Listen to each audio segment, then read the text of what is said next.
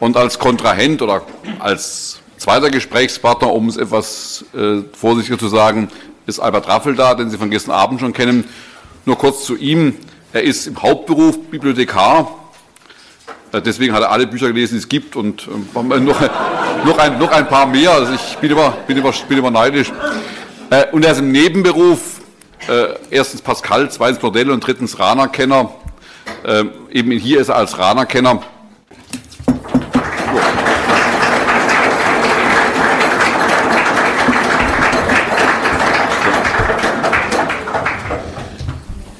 Meine Damen und Herren, es waren ja viele Versöhnungsangebote, auch wieder in dem Text von Herrn Peters. Und äh, ich weiß nicht, ob wir zu der gewünschten Kontroverse kommen, denn äh, ich muss mich auch als Metzschüler outen. Ich habe in meiner Münsteraner Studienzeit äh, von 64 folgende die Entstehung der politischen Theologie in ihrer Urphase miterlebt. Metz kam nach Münster als eine Art Überraner, 64, die Vorlesung, wenn ich mich richtig erinnere. Er hat sich dann über die Begegnung mit phänomenologischen Versuchen, Dümery und andere, Frage der Interpersonalität, Buber wurde damals viel diskutiert, weiter bewegt. Dann kamen die entscheidenden Begegnungen in der Paulusgesellschaft, äh, vermittelt, glaube ich, durch Rahner, äh, mit Bloch. Und 67 war die politische Theologie da. Wir waren schlicht begeistert damals, weil das ein neuer Gestus in der Theologie war. Und äh, insofern bin ich also ein Teilnehmer an dieser Geschichte und möchte meine, meinen Lob und Tadel auch nicht einfach auf beide Seiten verteilen. Aber ich habe hier die äh, andere Aufgabe, meinen Lehrer Karl Rahner etwas äh, besser zu positionieren und äh, stehe dazu auch. Und ich möchte deshalb nochmal zurückgehen auf diese Urphase der Entstehung der politischen Theologie. Ulrich Ruh hat schon mal die entscheidenden Punkte vorhin genannt aus dem Lexikonartikel LTHK 3 das gleiche steht Sacramento Mundi, äh, Band 3, 1969, glaube ich. Ja. Danach versteht sich die politische Theologie, das wissen wir inzwischen, als kritisches Korrektiv gegenüber einer gewissen Privatisierungstendenz in der gegenwärtigen Theologie in ihrer transzendentalen Ausprägung und so weiter. Dieses kritische äh, Korrektiv führt zu folgenden Stichwörtern. Tendenzielle Privatisierung des Kerns der christlichen Botschaft, Reduktion der Praxis des Glaubens, das bitte ich zu betonen, auf die weltlose Entscheidung des Einzelnen. Aufgabe Entprivatisierung der theologischen Begriffswelt der Verkündigungssprache und der Spiritualität. Und positiv wird formuliert die politische Theologie als der Versuch, die eschatologische Botschaft des Christentums zu formulieren unter den Bedingungen unserer Gesellschaft und mit Berücksichtigung des Strukturwandels der Öffentlichkeit. Dabei ist diese Öffentlichkeit, wie der Metz, nicht verstanden als Gegenstand sekundärer christlicher Öffentlichkeitsarbeit oder eines nachträglichen christlichen Öffentlichkeitsanspruchs, sondern primär als Wesensmedium theologischer Wahrheitsfindung und christlicher Verkündigung überhaupt. Das hermeneutische Grundproblem der Theologie ist danach Metz dasjenige von Glaubensverständnis und gesellschaftsbezogener Praxis. Daraufhin muss die Theologie auch die zentralen theologischen Wahrheiten auslegen. So erscheint in ihrem Licht der christliche Glaube als Gestalt gesellschaftskritischer Freiheit und die Kirche als Ort dieser Freiheit, zu der sich der Christ im Angesicht der eschatologischen Botschaft berufen weiß. Dass sich Metz durch die Attacke auf die transzendentale Theologie gerade von seinem Meisterschüler Rana, gerade durch die Attacke von seinem Meisterschüler Metz, betroffen fühlte. Das wird man gut nachvollziehen können. Ich halte es für die Größe von Karl Rana, dass er diese Attacke, die damals ihn, äh, für ihn ziemlich unerwartet kam, positiv aufgenommen hat. Er hat also das nicht als einen Profilierungsversuch oder als eine substanzlose Kritik angesehen, sondern er hat sie sehr ernst genommen und hat sich auch daraufhin Material mit Themen der Metzschen Theologie befasst und hat die politische Theologie öffentlich an verschiedenen Punkten verteidigt, bis hin zu seinem berühmten Streit mit Kardinal Ratzinger und äh, Kultusminister Mayer in der Süddeutschen Zeitung.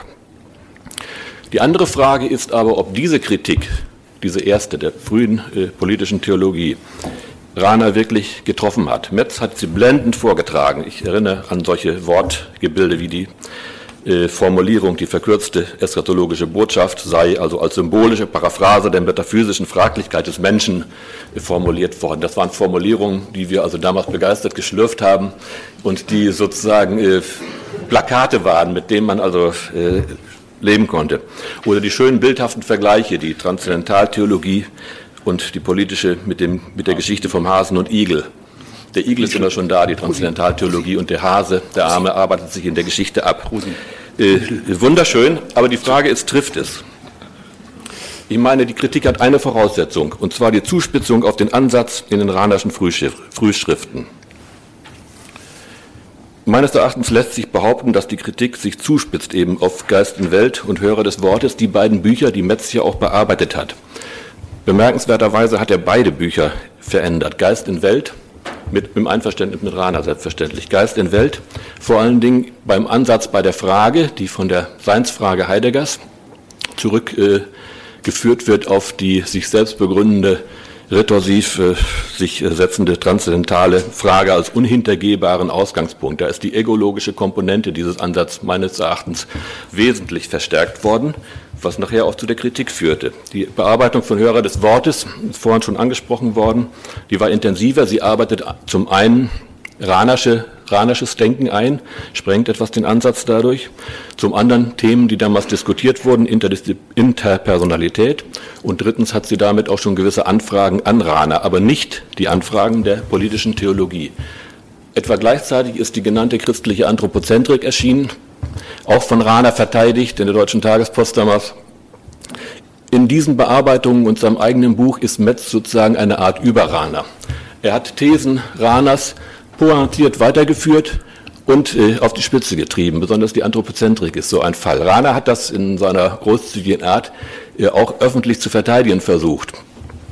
Äh, das also zum gewissermaßen zum biografischen Hintergrund. Ich meine, die Metz-Kritik kommt aus einer sehr starken Pointierung Karl Ranas, gegen die sie sich dann wieder wendet. Mein dritter Punkt ist der Gesellschaftsbezug der Theologie Karl Ranas. Die Kritik setzt ja voraus, dass diese Transzendentaltheologie eben äh, da unterbelichtet sei. Das würde ich für Rahner bestreiten. Ich kenne keinen katholischen Theologen der Zeit, der so einen intensiven Gesellschaftsbezug hatte wie Karl Rahner. Rahner hat schon in den 30er Jahren, ich habe es gestern schon gesagt, sich mit dem Nationalsozialismus beschäftigt, das will ich hier nicht wiederholen. Die stärker theoretisch ausgerichteten Arbeiten zu Gesellschafts- politischen und kirchlichen Fragen sind in dem dicken Band, der drüben liegt, der dickste Band der Gesamtausgabe, für die 50er Jahre inzwischen ediert worden. Das sind 800 Seiten. Ich äh, denke, auch das quantitative Gewicht ist nicht ganz äh, gering. Die, den Privatisierungsvorwurf kann man meines Erachtens thematisch gegen Rana nicht erheben. Man kann ihn, wenn man will, gegen den Ansatz formulieren. Ich halte es, wie schon eben gesagt, für falsch. Denn Rahner hat also in seinen Schriften folgende Schritte gemacht. Er hat schon in seinem frühen Aufsatz 40 Jahre zur Kirchengliedschaft äh, die Fragestellung ausgeweitet auf äh, das Heil aller Menschen. Das klingt vielleicht ein bisschen idealistisch, wenn ich das jetzt so verkürzt einfach sage, aber er hat jedenfalls keine binnenkirchliche Ekklesiologie von Anfang an. Wenn man das für idealistisch hält, dann äh, müsste man weitersuchen, wie hat er die gesellschaftliche Wirklichkeit wahrgenommen. Und die hat er in der Nazizeit indirekt, aber in der Nachkriegszeit sehr deutlich in ihren Tendenzen analysiert. Es gibt diese Aufsätze über die Situation des Christen in der gegenwärtigen Welt, wo er, meine ich, also viel konkretere Beobachtungen zur entstehenden Globalisierung damals schon, zum Pluralismus äh, formuliert werden als eben bei anderen Theologen. Und wem das auch noch zu unkonkret ist, ich kenne keine äh, wirkliche Analyse der Situation äh, der Kirchenwirklichkeit, die vergleichbar ist dem, was Rahner versucht hat im Handbuch der Pastoraltheologie. Das hat die politische Theologie in dieser Konkretheit auch nicht durchgeführt. Wenn man sagt, auch das ist zu abstrakt und äh, soziologisch nicht genügend fundiert, mag alles stimmen. Aber Rahner hat auch äh, Dinge versucht, die ihm nicht gelungen sind. Er hat versucht, die französischen Arbeiterpriester, die Dominikaner einzubeziehen. Das hat nicht geklappt. Das sind Realisationsschwierigkeiten, aber die Absicht einer gesellschaftlich fundierten Theologie, die hat er durchgeführt und ich meine sogar wie kein zweiter. Die Bedeutung des Einzelnen für die kritische Theologie, mein vierter Punkt. Die Kritik der Privatisierung darf man nicht missverstehen. Dass Rahner emphatisch die Rolle des Einzelnen emporstellt, hatte eine kritische Funktion. Man kann auch positive Seiten bei Metz zu diesem Punkt finden. Ich will nur sagen, dass die weltlose Entscheidung des Einzelnen, die die politische Theologie kritisiert, nicht unbedingt gegen Rahner gelesen werden muss. Rahner hat in seiner Theologie des Einzelnen, die eben stark ignatianisch auch inspiriert ist, die Themen etwa der charismatischen Erneuerung der Kirche formuliert. Das ist, weiß Gott, nicht weltlos, sondern das war für die Entwicklung bis zum Vatikanum ganz entscheidend. Hier hat die iranische Theologie auch kirchenpolitisch gewirkt. Ich möchte es abkürzen, komme zu meinem fünften Punkt. Ranas Entwicklung vor und mit der politischen Theologie. Ich möchte nicht hier irgendwie einen polemischen Keil zwischen Rana und Metz treiben, sondern nur darauf aufmerksam machen, dass die Parallelität doch sehr groß ist. Äh, es ist vorher eigentlich auch schon gesagt worden. Äh, neben den Dingen, die in dem Band 10 gesammelt sind, kam in den 60er Jahren der Dialog mit dem Neomarxismus und auch mit dem Parteimarxismus, soweit er sich dazu herbeigelassen hat, auf. Die Paulusgesellschaft war der Träger, Rana war von theologischer Seite der prominenteste der sich an diesem Dialog beteiligt hat. Hier ist auch, habe ich vorhin schon gesagt, ein wesentlicher Ausgangspunkt der politischen Theologie. Ich glaube, nicht bei Auschwitz ist der Ausgangspunkt, sondern hier. Es beginnt etwa um die Konzilszeit. Wenn man diesen Dialogbeginn heute wertet, muss man ihn auch in seiner Zeitstelle sehen. Ich habe mal ein kleines Rahner-Zitat aus der Diskussion aufgeschrieben. Innerweltliche Ordnung lässt sich freilich aus dem Christentum nicht konkret ableiten. Früher konnte der gegenteilige Eindruck entstehen, weil die Welt so stabil war. Heute leben wir nicht nur in der Welt, sondern müssen sie verändern. Wir Christen sind offen für die innerweltliche Zukunft, von der wir nicht wissen können, wie sie aussehen wird. Seine Nebenbemerkung aus dem Dialog von 66. Sie ist aber in zweierlei Hinsicht interessant, meines Erachtens. Sie geht, wie auch die vorhergehenden Schriften Ranas, gegen einen Integralismus, der also die ganze Weltwirklichkeit unter ein christliches Regime äh, zwingen will. Und sie wird theologisch, sie ist äh, eine Aufforderung zur Praxis, das ist das zweite Wichtige, und sie wird theologisch begründet in dem Vortrag in einer Reflexion über das Verhältnis von Gottes und Nächstenliebe in ihrer Einheit. Das scheint mir also schon wichtig zu sein, dass die politische Theologie hier an diesem Punkt auch ihre Quelle hat. Aus späteren Rahner-Texten kann man entnehmen, dass er die gesellschaftlichen und innerkirchlichen Spannungen, die auf dem Nord-Süd-Gegensatz beruhen, wahrgenommen hat. Folgende Schritte hat er meines Erachtens gemacht.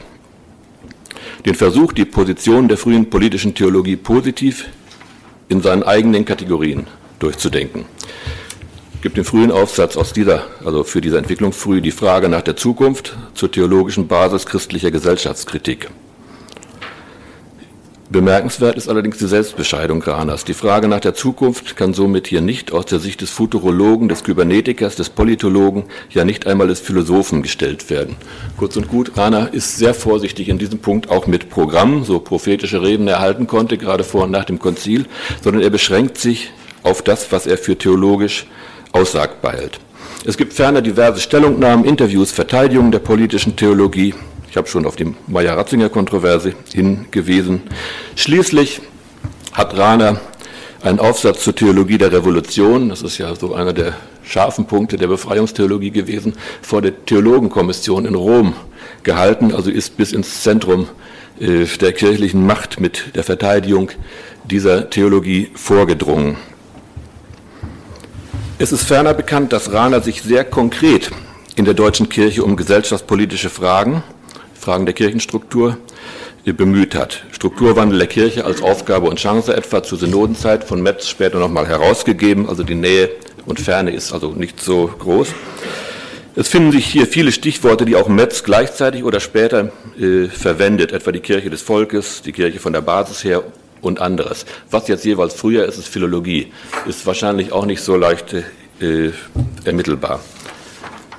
Man könnte durchaus auch mal diese Philologie treiben und sich fragen, wie solche konkreten Themen Ranas auf Metz gewirkt haben. Genauso wie man fragen kann, was hat Metz auf Rana, wie hat Metz auf Rana gewirkt.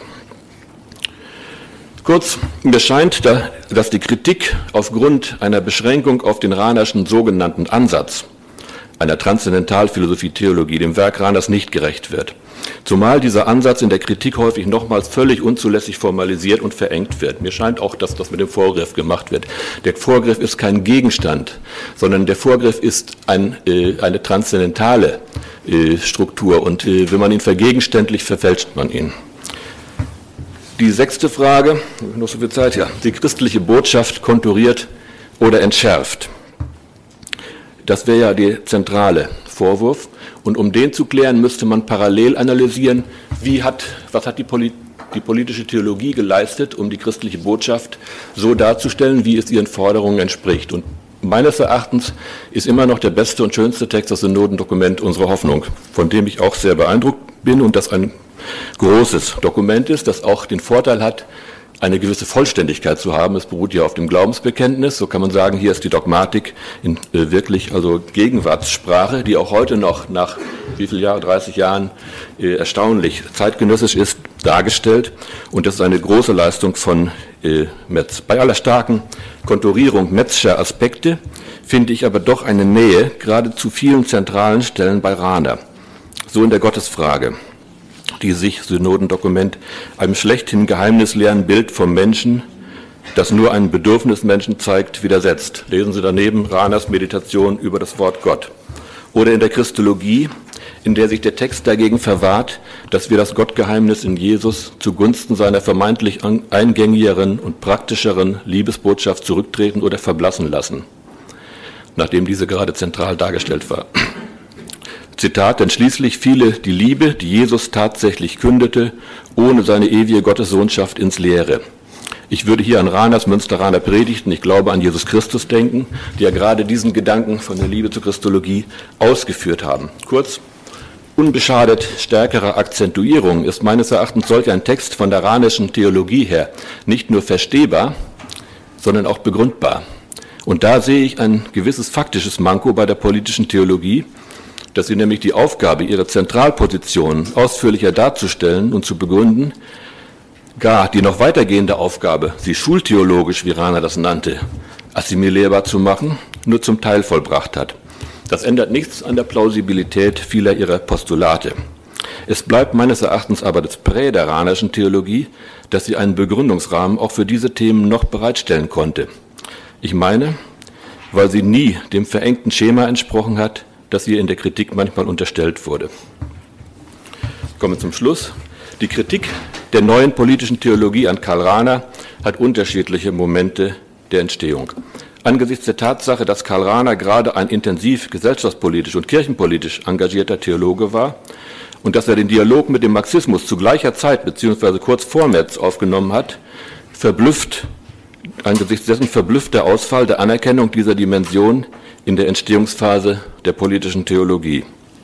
Zumal Metz Rahners Theologie als Korrektivtheologie ja durchaus, wunder, äh, äh, durchaus würdigt, aber nur gegenüber der Neuscholastik und damit ist sie praktisch abgetan. Für die nachkonziliare Diskussionsphase existiert sie dann eigentlich nicht mehr, es sei denn, wo sie metzische Themen übernimmt.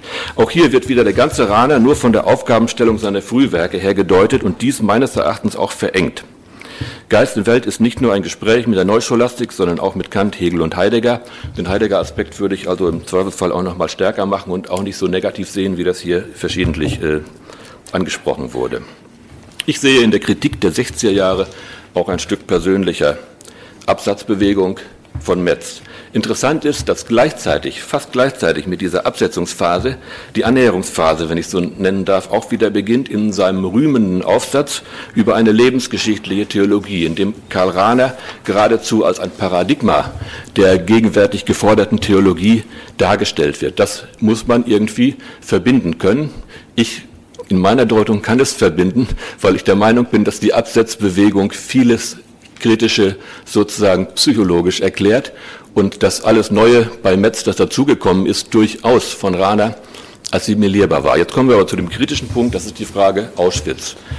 Ähm, 75 im Synodendokument taucht der Name Auschwitz auf. In Glaube in Gesellschaft und Geschichte ist es als äh, Stichwort nicht im Register.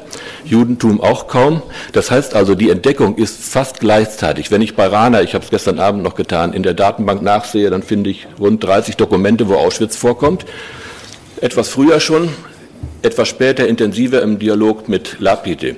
Aber ich will nicht leugnen, dass die iranische Theologie hier viel mehr hätte leisten können, wie eigentlich jede Theologie bislang, auch die Metzische Theologie.